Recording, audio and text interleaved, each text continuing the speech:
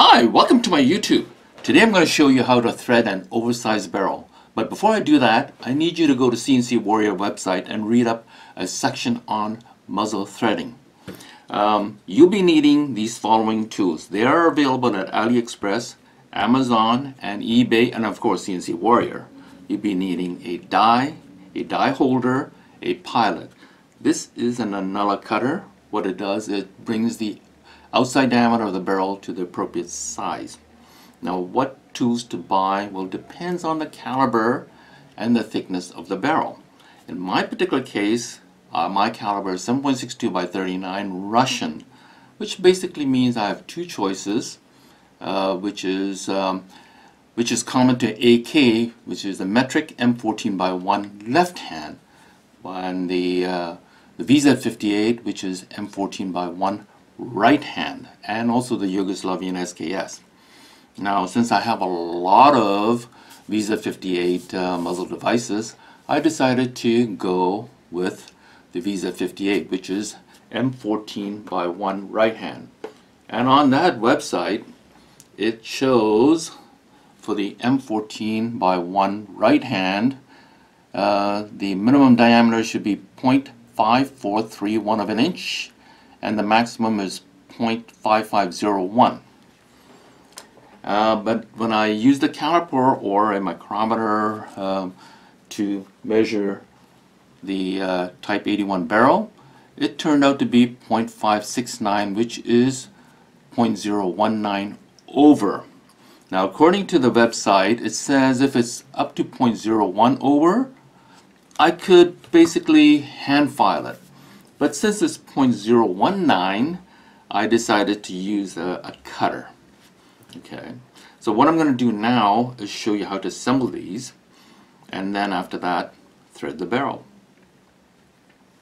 Take the cutter, I should take the die, and insert the pilot. Now be careful not to force it, or you're going to damage the, the, the teeth this. Now make sure that you insert this pilot deep enough. It shows four threads cutter on the die. And this looks like about right. Okay. And then you see there's a an indent on the die. Make sure it lines up with the screw.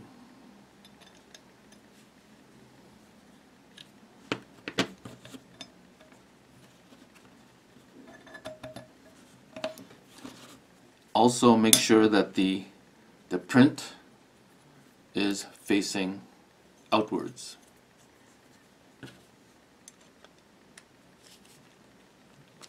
Like so. Now to assemble the cutter I have to take the pilot, insert it into the cutter and then use two nuts that's provided now be careful when you're holding the, uh, the cutter itself, it's quite sharp.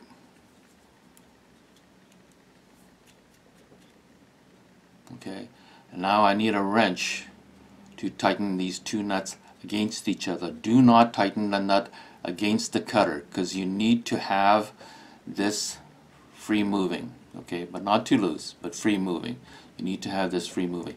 This will be your guide when you're cutting the outer diameter of the barrel. And then insert this whole assembly into this um, this part where it goes into the drill. The set comes with an Allen wrench and then you tighten the set screw.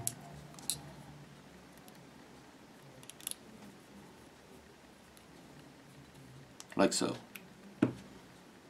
Okay? So now I'm all set to start um, reducing the uh, outer diameter of the barrel and then threading the, the barrel, the muzzle. Okay, so I'll be back. I'm not fortunate enough to have a uh, workbench, so this is my setup uh, in my kitchen. It's uh, on my kitchen counter. Um, make sure the vise is um, clamped down firmly and the rifle is in a ice cream bucket and it's on top of a stool to uh, take some weight off. Clamp it firmly. Uh, use aluminum or uh, copper. Um, I guess uh, these um, to protect the barrel from scratches and uh, make sure it's nice and vertical. Now on YouTube I've seen people um, uh, doing it horizontally but I prefer to do it vertically, vertically uh, because it basically it uses the gravity and it's um, I believe it's a little more even. Now how far am I going to uh, reduce this um, this barrel? I'm gonna go as as much as three quarter of an inch down. Um, I have to be for the flash hider and brakes you have to be minimum half an inch so um, three quarters perfect because I also have to make room for the um, jam nut because um, I don't have, it's not going to be butt up against the uh, uh, sight block. So I'm going to be using um, uh, jam nut to uh, lock it in place. So um, let's uh, start. First uh, I need to put lots of oil and that's what the ice cream buckets are for. It's to it's to uh, catch the oil and the shaving. I'm just to put the, uh, and you have to do it in a very slow speed. Um, the website recommends between 2 to 300 RPM and the pilot fits in perfect and so I'm gonna raise it up a bit get it going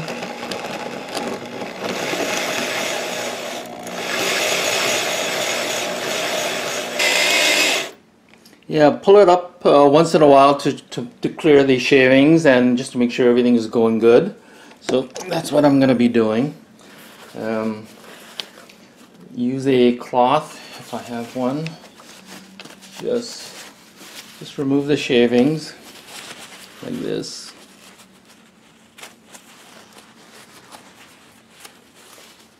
And add some more uh, lube. like that and make sure the bit is also clear of any shavings and it's uh, going pretty good I'm about one eighth of an inch deep so far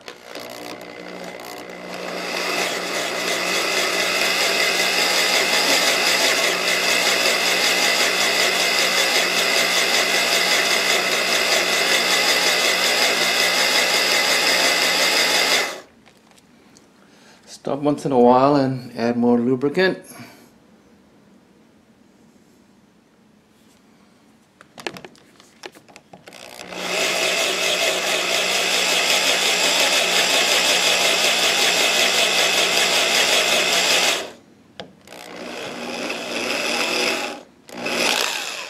Okay, just uh, clear more shavings.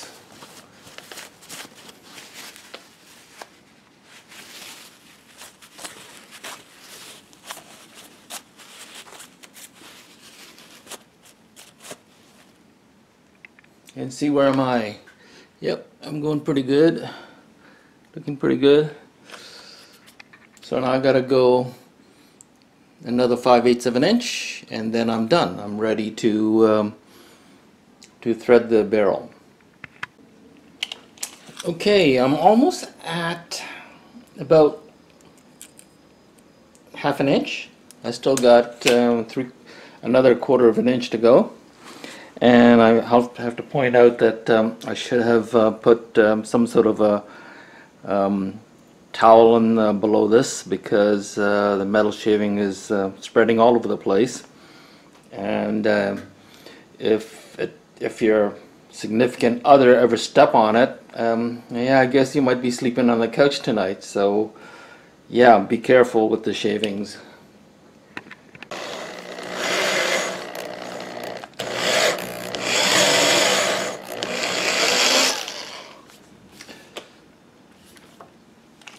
Okay, let me measure.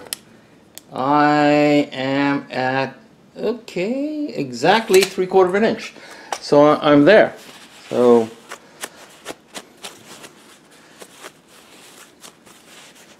Okay, so let me get a caliper and uh, measure that. Actually, I already did, and it's uh, 0.547, which is within the, the range on the uh, chart. Uh, so next, um, I will be threading this. Okay, I'm ready to uh, thread the muzzle. Um, put lots of oil and uh, make sure the pilot is inserted deep enough, about four or five threads. And put this in. I also marked one of the handles so I know how many turns I've taken. Press firmly both handles and turn gently.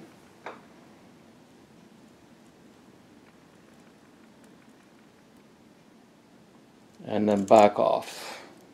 You can hear actually the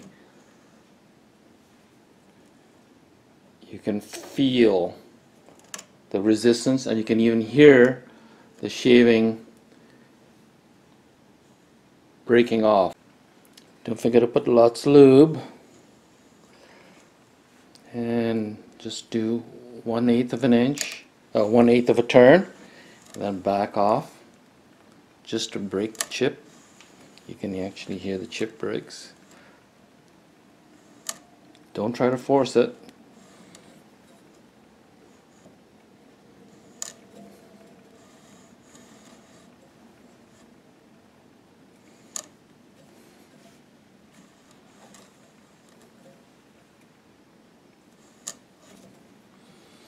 Okay, let's see what it looks like right now.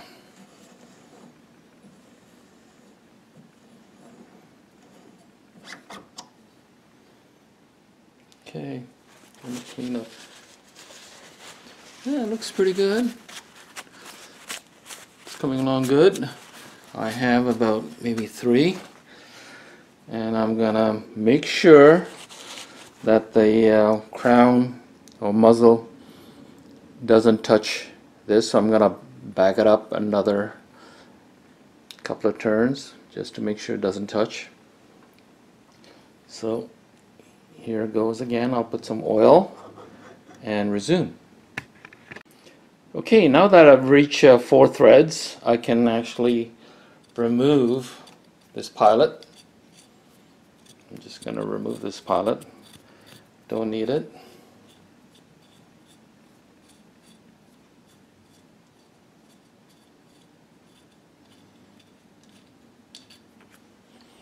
And I'll put uh, lots of oil on the threads and resume.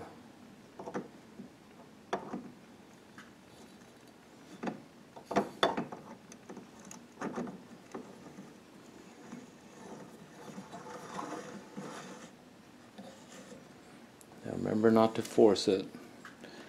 Just little turn and back off. Like that.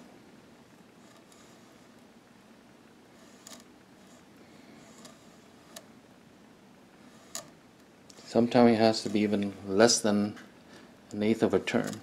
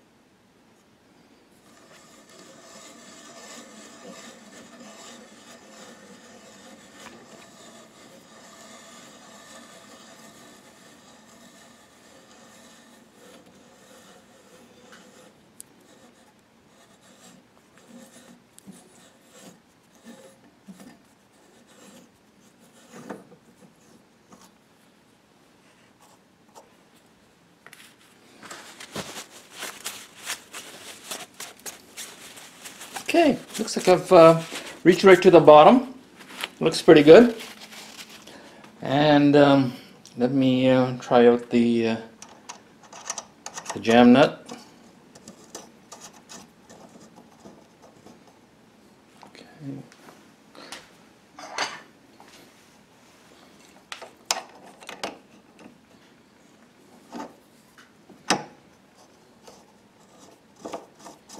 Hmm, going pretty good.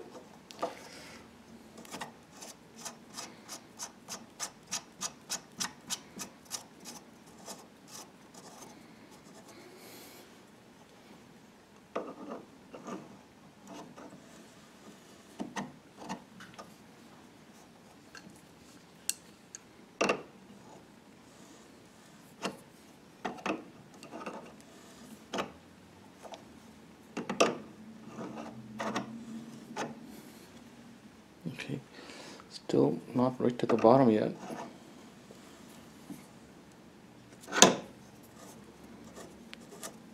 Ah, okay, got it. Oh, yep, I think it's at the bottom now. Now I'm going to use the A1 uh, bird cage.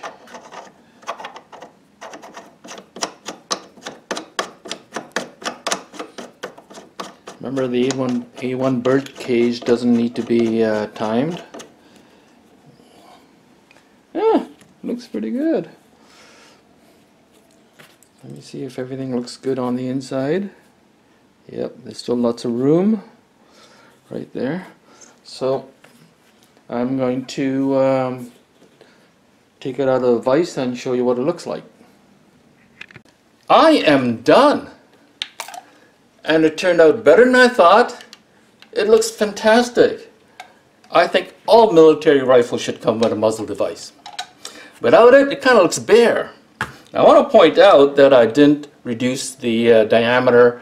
I left about 5 eighths of an inch, and the reason why is should I ever want to put the grenade launcher back, it wouldn't flop around.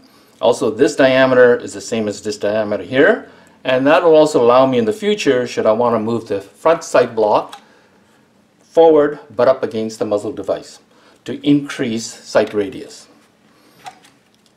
Another thing I want to point out is that whenever using this cutter and you're holding the drill handle, move the drill handle around so you're putting even pressure all over, not just one side. Um, after watching my videos, you're not confident uh, doing it yourself, that's fine. Just take it to a gunsmith. There's lots of competent gunsmith out there that'll do it for you. So uh, thank you for joining me and please subscribe.